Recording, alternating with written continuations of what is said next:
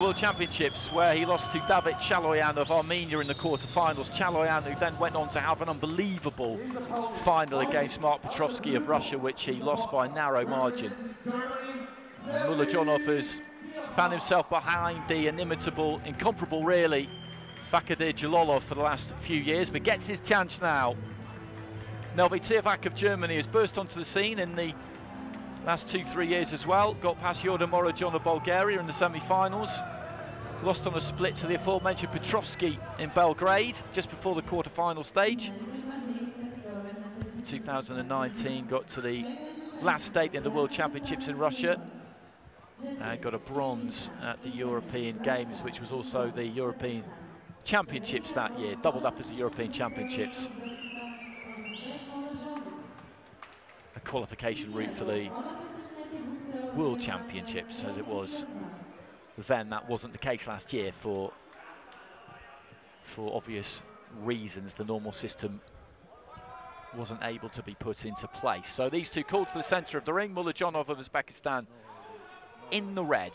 Nelvie Tiafack of Germany in the blue. If he can get a gold medal for Germany here, then they will become the 10th country to get onto that gold medal chart. If Mullojonov can do it, then Uzbekistan will go to six gold medals and they will just sneak ahead of Russia.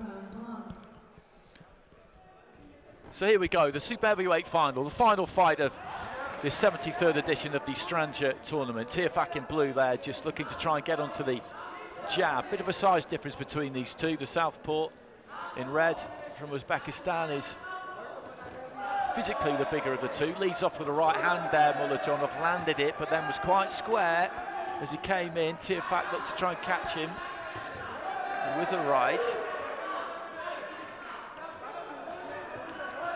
Using that jab, Mullojonov. Left to the body, but countered by that right hand again from Tiafack, who's got nice quick hands for a super heavy. Holds those gloves quite low, Mullojonov. Just walked in, walked forward there. And he is open every time he throws here, Mullojonov almost. And Tiafack is looking to throw those counters. Left hand got through from the German. Right hand again there from Tiafack. Mullojonov is landing also, but Tiafack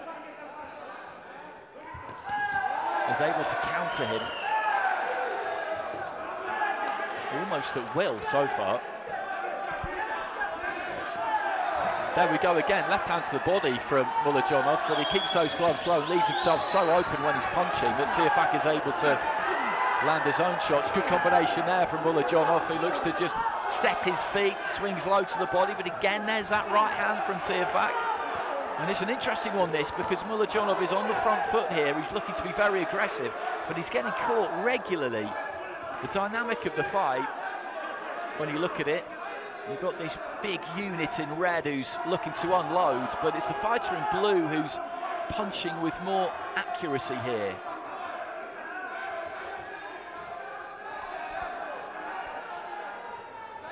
Little step to the right-hand side there from Mullojonov, was winding up with the left hand there didn't throw it. Nice little dig to the body there from Mullojonov, trying to find that jab. He would be well advised to utilise that a bit more, I think. With the physical advantages he's got here, he could keep this on the outside. Final 20 seconds or so of round one and both landing simultaneously there. Good right hand there from Tiafack. He throws the left. I'd be interested to see what the judges do with this because, as I said, it's been Mullojonov mostly coming forward, letting his hands go, but Tiafack has, has landed some good, good shots. He's landed some very accurate punches. Easy to see for me, I'd go blue corner there.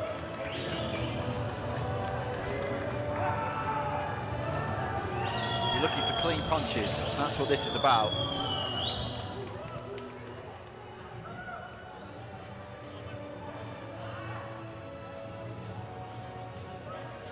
Mullojonov gets it across the board. I did say it would be interesting to see what the judges did with it, and I could see how that has happened because he was always coming forward, looking to let his hands go. And as I was saying, it's not that he didn't land some good shots because he did, but he got he got picked off regularly by Tiafack.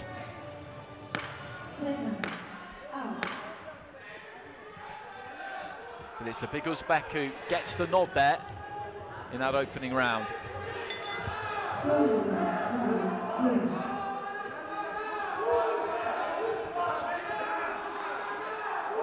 So early stages, round two, Tiafack needs this. Steps in with a left to the body there, long left to the body from Mullojonov. Straight left from Mullojonov, but there comes the right hand back from Tiafack. He's not looked bothered by anything that's hit him, Mullojonov, but that doesn't really matter. They're scoring punches.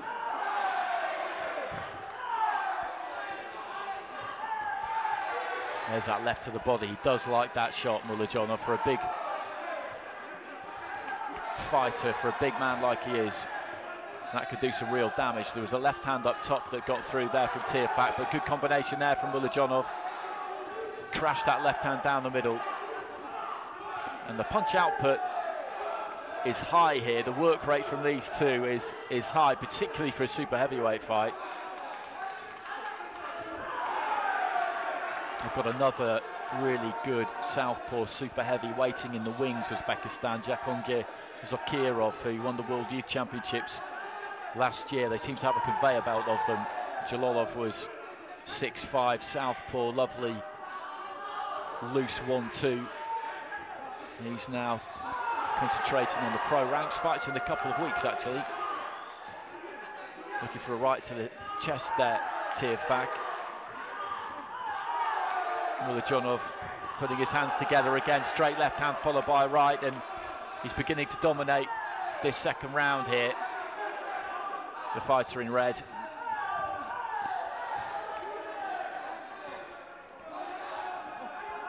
And there's that jab which in my opinion he doesn't use enough.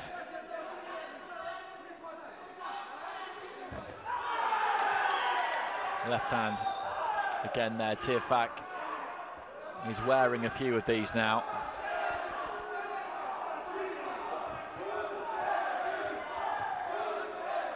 Right hand got through there from the German.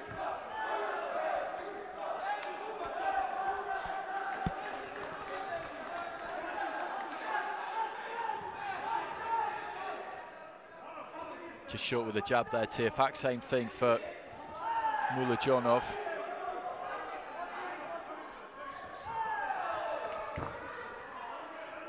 Little bit clumsy there from Mullojonov as he came forward. There's that left on the inside and it's a good weapon for him. He finds the body with it regularly. Straight left hand down the middle, get through with it. A right hand came back from Tiafack, but then Mullojonov just immediately threw his jab it's just been grueling stuff for Tiafack in this second round. He's had plenty to say himself. Still throwing plenty back, but he just ramped things up a bit in that second round, I felt, Mullojonov.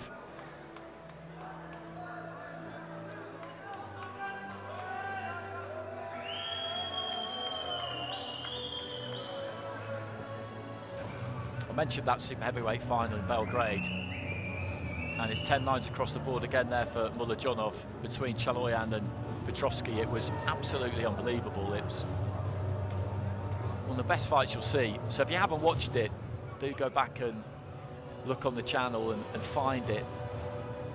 That and Raheem Gonzalez at light heavyweight against Alyaksei Alfierov, two of the best fights I've I've covered in amateur boxing actually. Petrovsky's journey through to the final was absolutely incredible. He's a small super heavyweight.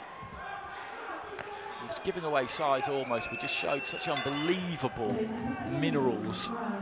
Personally, I thought Chaloyan was a bit unlucky in the in the final. He, he could have got it, but Petrovsky, you couldn't begrudge him anything.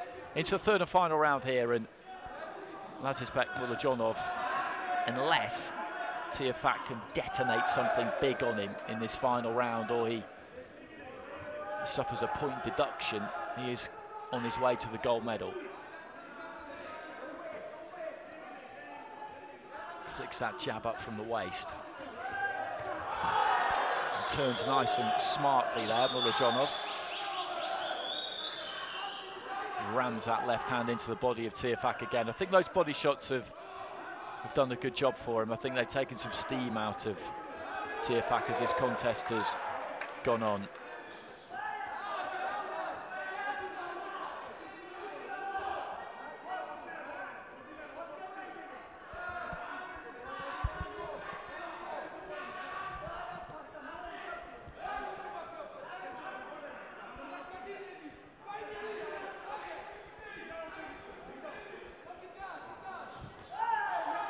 Straight left hand there from Mullojonov. Heading up towards the midway point of this third and final round, the final round of Strandja 2022. Right hand there from Tiafack. The two landed almost simultaneously, actually. There was a jab from Mullojonov as well. Stoops in with a, a right to the body, Tiafack in a little bit of trouble there. His weight was just coming forward. Gloves were down and the Uzbek didn't quite manage to tee off.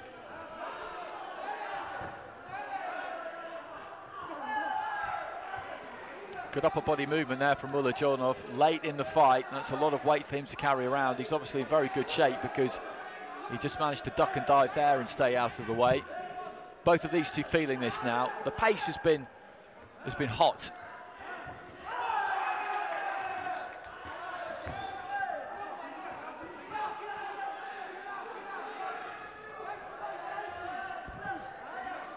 Right to the body there from Tiafack. Moving those feet across the canvas. Mullojonov just going for a little bit of a walk there. I think he knows he's got this one in the bag standing room only over on that far side. Good to see a lot of teams sticking around. Plenty of teams staying actually, even though they don't have anyone to support in these finals yesterday and today.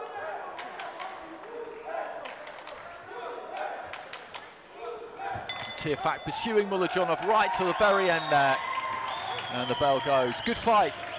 Mullojonov is going to take it on my card. I'd have given it to him 29-28. I thought Tiafack landed some good shots in that opening round. The judges, I'm pretty sure, are going to go 30 points to 27 right across the board in favour of the Uzbek fighter, which will give them their sixth gold medal and takes them just above Russia in that gold medal table. Now, Mullojonov has spent a long time in the shadow of Bakhodir Jalolov. Now, he has emerged from it. And the winner by unanimous decision in the red corner.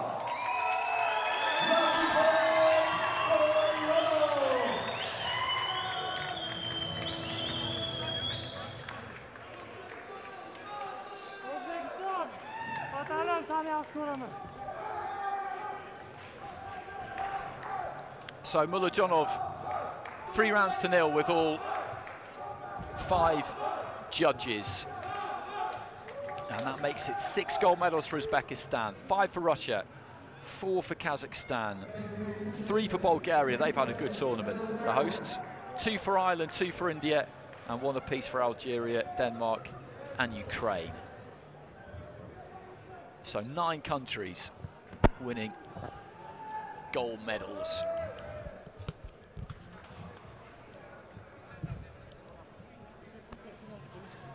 And we've got medal ceremonies remaining, so don't leave us just yet. Five medal ceremonies coming up.